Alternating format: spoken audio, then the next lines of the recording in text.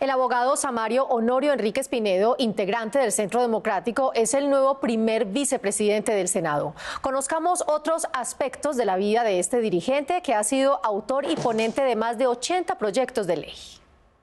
Honorio Miguel Enríquez Pinedo, hijo de Honorio Enríquez Castañeda y Abelina Pinedo de Enríquez. Es un samario de 47 años que heredó de su madre el amor por la labor social. Ella ha sido una mujer apasionada por la política y de allí surgió toda la vocación de servicio del hoy senador del Centro Democrático. ¿De acuerdo con la Constitución y las leyes? Sí, juro.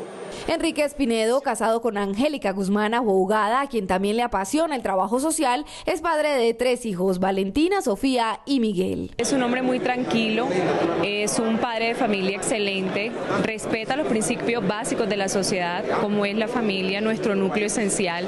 Es un hombre de principios, de valores, leal, es un hombre altamente sumergido en la responsabilidad. El primer vicepresidente del Senado es abogado de la Universidad de La Sabana con especialización en opinión pública y mercadeo político de la Universidad Javeriana. Realizó estudios en seguridad y defensa nacional. Como senador ha sido autor, coautor y ponente de 80 proyectos de ley. Se destaca su autoría de la Ley contra el Desperdicio de Alimentos, una norma recientemente aprobada por el Congreso y que apunta a combatir el hambre.